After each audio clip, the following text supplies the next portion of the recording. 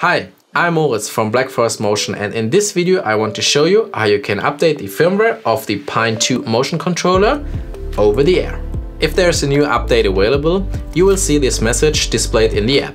Your phone needs an active internet connection when connecting to the Pine controller. In this message, you will see all the new features we implemented in the new firmware.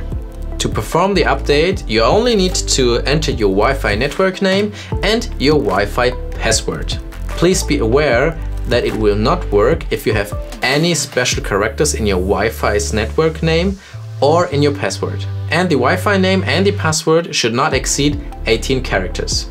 The easiest way is to set up a hotspot on your smartphone.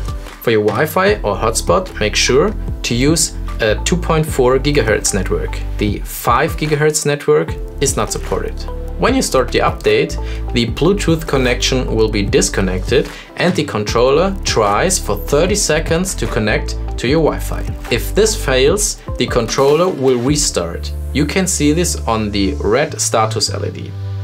If the Pine controller can successfully connect to your Wi-Fi, the Wi-Fi LED will turn orange. On the motor connection side, you can see the progress of the update. Each green LED will represent 25% of the progress. When the Wi-Fi LED turns off and the status LED is green and blinking, then the update process is complete. To use the controller with the new firmware, please do a full power cycle by removing and reconnecting the power supply. After reconnecting with the app on the controller, you can verify the new app version on the start screen. Also make sure to update the app to the newest version available on the App Store.